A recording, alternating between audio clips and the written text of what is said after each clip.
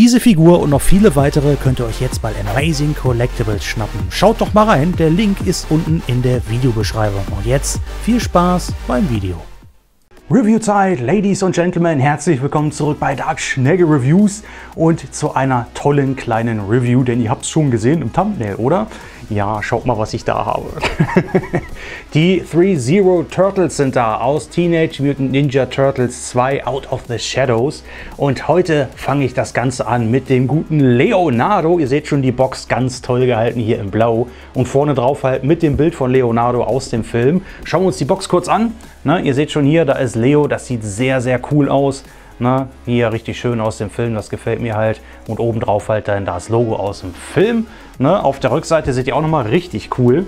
Hier Leo, ne? sehr genial. In dieser großen Box befindet sich halt eine richtig, richtig coole, detaillierte Figur, die ich euch natürlich nicht vorenthalten möchte. Und ja, auf jeden Fall dranbleiben auf diesem Kanal, denn ich habe alle vier Turtles hier, um sie euch zu präsentieren. Also, jetzt gehen wir erstmal zu Leonardo, schauen uns den gemeinsam an und ich bin sehr gespannt, wie 3-Zero hier die Umsetzung gemacht hat. Los geht's! Und da haben wir nun den furchtlosen Anführer der Teenage Mutant Ninja Turtles.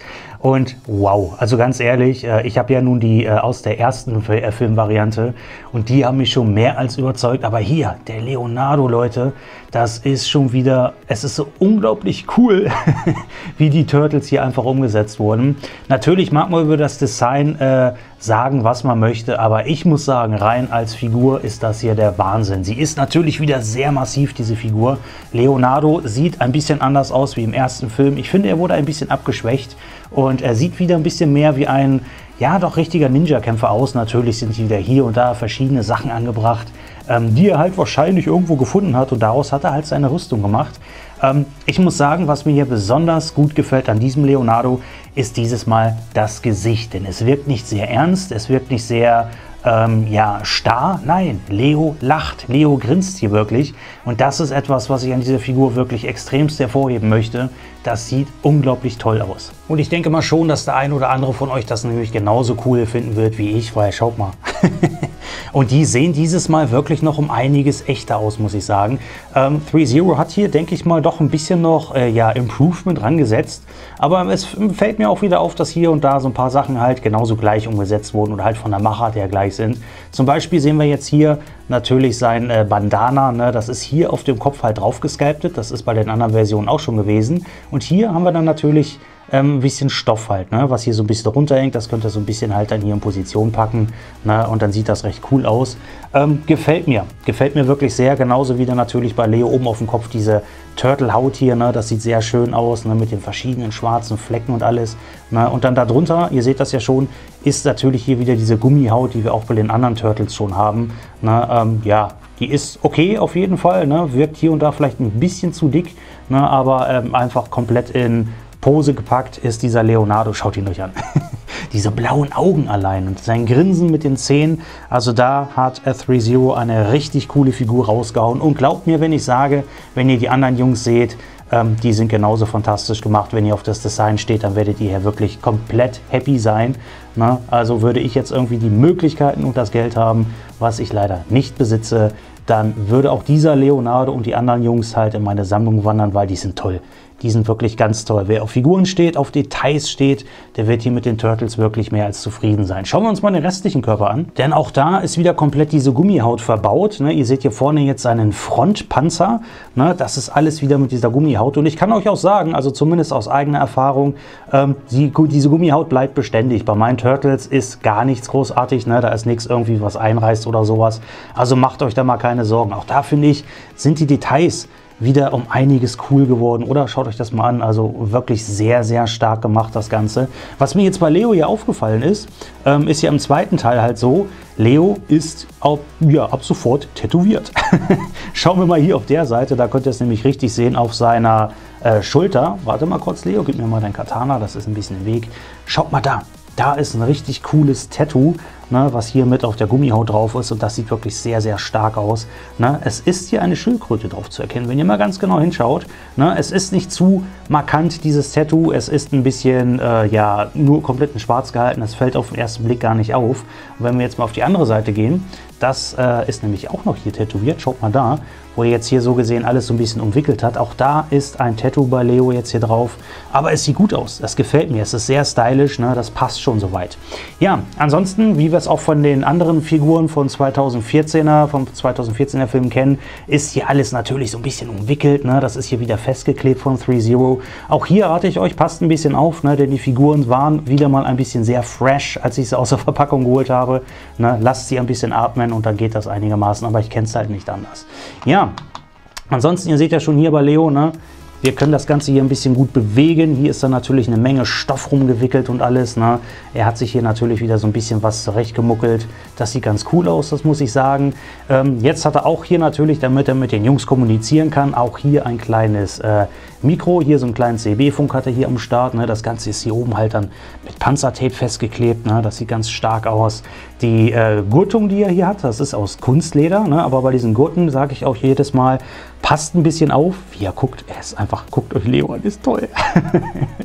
ne? Hier dann so ein bisschen mit Faden rumgesetzt und alles. Und auf der Rückseite, wenn wir jetzt mal auf diesen massiven Panzer gehen, der ich ja schon bei den anderen Versionen so genial fand, ne? seht ihr dann natürlich, hier sind die Schwertscheiden für die Katana am Start. Und hier halt diese große Schnalle am Start wo dann halt hier der Gurt so gesehen zusammengepackt ist. Ist aber nur aus Kunststoff, auch wenn es aussieht wie aus Metall, ist nur Kunststoff. Und ja, auch Leo hat mittlerweile eine Art äh, Markierung auf dem Rücken. Die hat wahrscheinlich die Mikey raufgekrickelt, falls ihr das genau erkennen könnt. In Blau sind hier ein paar japanisch-chinesische Schriftzeichen raufgebracht worden auf dem Panzer. Na, auch das kennen wir so noch nicht und ich finde es eigentlich sehr cool. Ich mag die Panzer. Diese massiven großen Panzer, die sehen wirklich sehr, sehr stark aus. Und wenn wir da halt näher rangehen, die Details hier, ne, sind glaube ich sogar noch ein bisschen cooler ausgearbeitet als bei den anderen Versionen, die ich euch nachher nochmal zeigen werde. Denn es wird natürlich auch hier noch einen kleinen Vergleich geben zwischen dem Leo und äh, ja, dem alten Leo. ja, ansonsten Schauen wir uns mal das hier unten weiter an. Hier kommen wir jetzt natürlich zum Gürtel, Schrägstrich zur Hose. Hier auch wieder sehr interessant. Das zeigt natürlich wieder, dass Leo irgendwo was gefunden hat. Ich weiß nicht, was das ist, aber es ist vom Times Square. Das steht hier dick drauf. Es ist hier festgeklebt und dann hier natürlich noch mit einer Art Panzertape befestigt. Na, da rate ich aber, passt ein bisschen auf. Dieser Part hier zum Beispiel, diese Lamellen, sind aus Gummi, ne, auch hier oben, das kennen wir ja von 3.0. Der Rest ist aber Gott sei Dank hier zumindest aus Stoff. Ne, hier der Gürtel, die Gürtelschnalle aus Plastik und hier tatsächlich Kunstleder. Und an dieser kleinen Tasche kommen dann sogar noch ein paar kleine Zubehörteile mit dabei, die ich jetzt gerade mal hier auf der Seite habe. Nämlich Leo hat noch drei kleine Kunais mit dabei, die aus Kunststoff gemacht sind. Ne, und die dürft ihr dann hier halt reinstecken. Passt da so ein bisschen auf, die Kunais sind sehr spitz. Nicht, dass ihr durch die Tasche da durchstecht. Ich glaube, dann würdet ihr euch so ein bisschen ärgern. Aber ja, da kommt natürlich der Ninja-Style so ein bisschen durch. Das dritte Kunai, wo ist es? Komm her.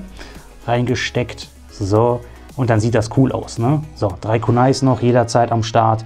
Falls er mal seine Katana, wie jetzt in diesem Fall hier, verliert, kann er dann halt da auch schnell rangreifen und dann kann er loskämpfen. Finde ich wirklich sehr, sehr, sehr gut. Tja, wenn es jetzt halt um die Hose geht, auch die finde ich gar nicht schlecht.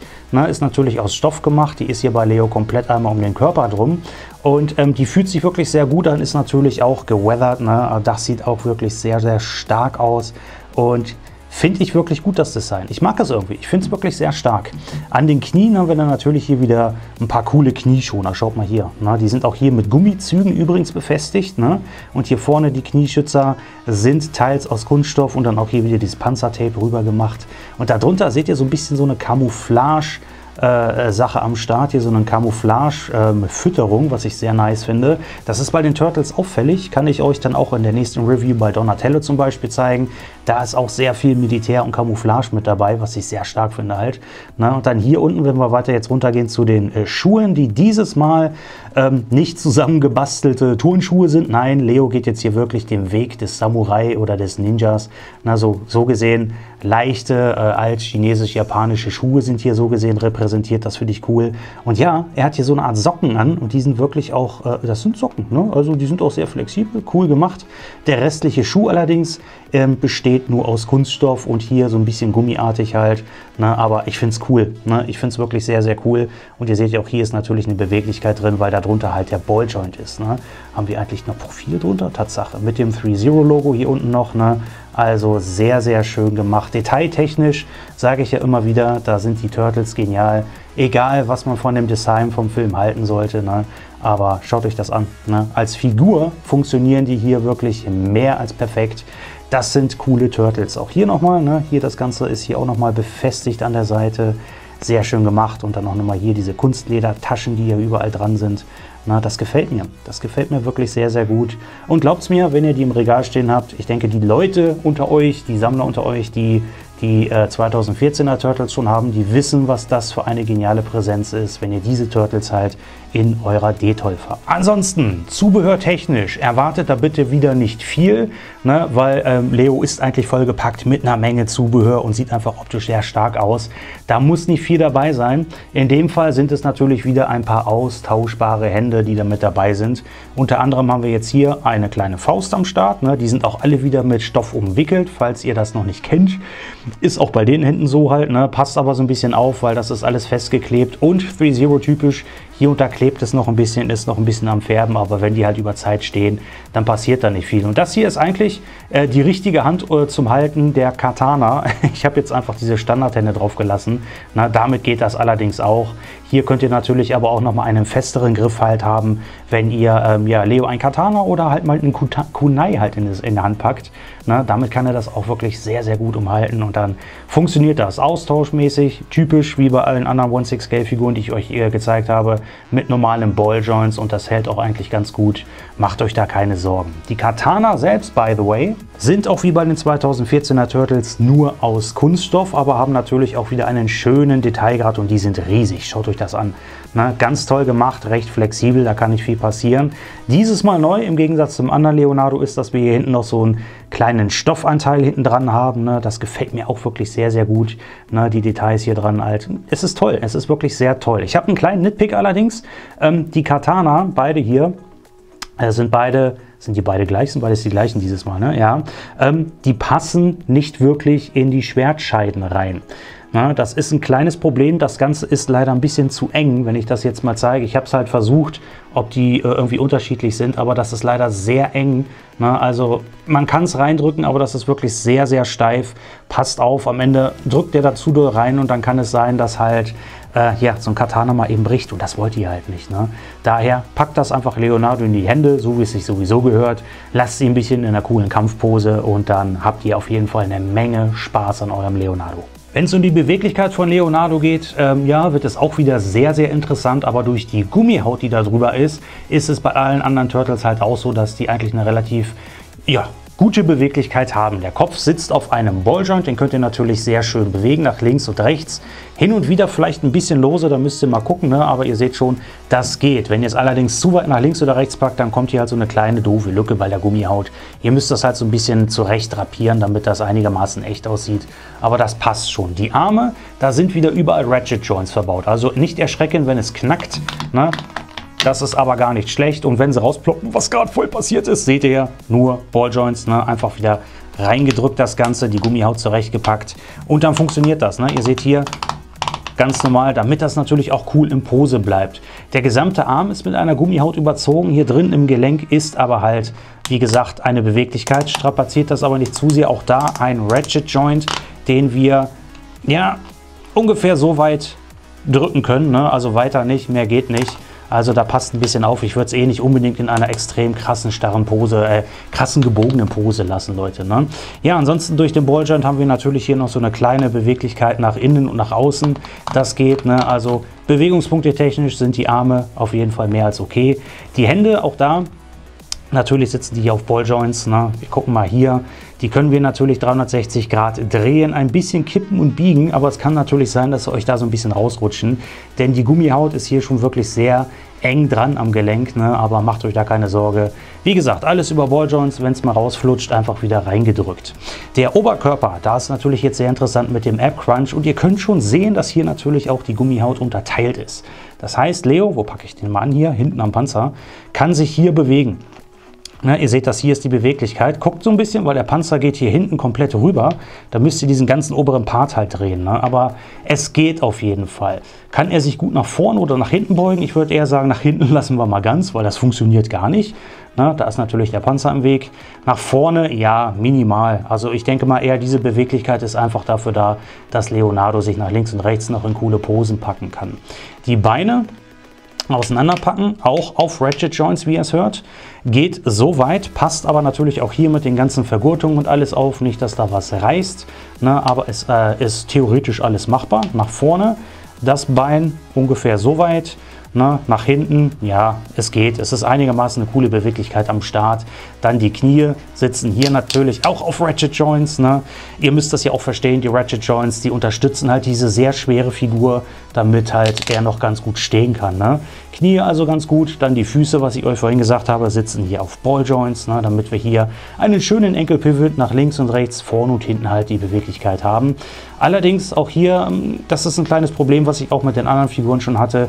Der eine hier ist ein bisschen sehr locker, finde ich. Ne? Und bedenkt auch, zubehörtechnisch gibt es bei 3.0 keine Stands.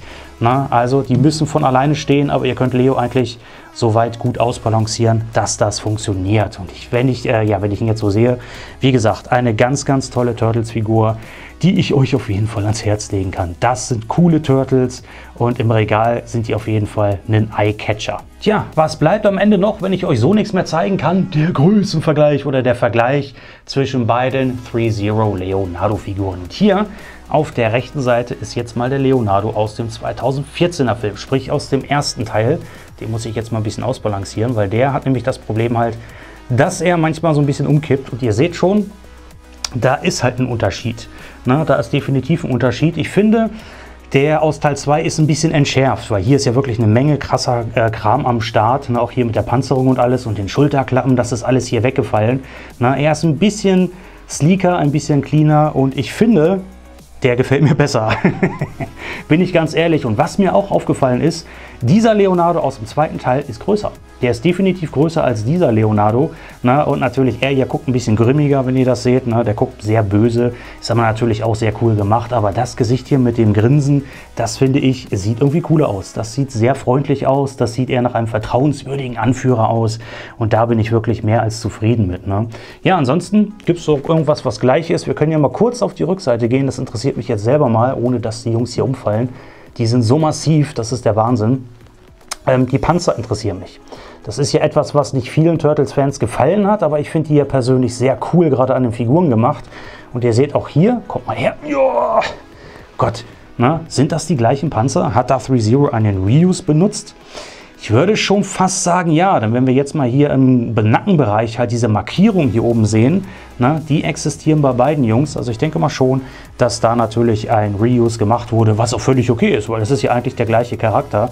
Daher ist das völlig gut. Ne? Und auch hier muss ich sagen, seht mal, die Schwertscheiden zum Beispiel sind jetzt beides die gleichen. Es ist nicht alles so wild, äh, wild hin und her gemixt. Na, hier sind ja zwei unterschiedliche am Start. Dieser Leonardo hier hat ein bisschen mehr ja, Cleanheit drin, wie ich es gerne nenne. Ne? Also finde ich um einiges cooler. Bin ich ganz ehrlich zu euch. Und das ist auch alles, was ich euch dann zum guten Leonardo zeigen kann. Ich bin mal sehr gespannt auf eure Meinung. Wie gesagt, die Filme sind jetzt nicht ähm, die absolute Fan-Favorite, aber rein von der Figurenform her müsst ihr das einfach mal betrachten. Die sind grandios. Die sind grandios, massiv, tolle Details dran und können sich wirklich sehen lassen. Und Leonardo ist nur der Anfang meiner kleinen neuen Turtles Mania, denn ich habe alle vier hier. Na, ich bin auf eure Kommentare sehr gespannt. Guckt auch beim nächsten Video rein. Ähm, da wird es dann halt den nächsten Turtle geben. Und glaubt mir, die sind einfach alle super toll gemacht.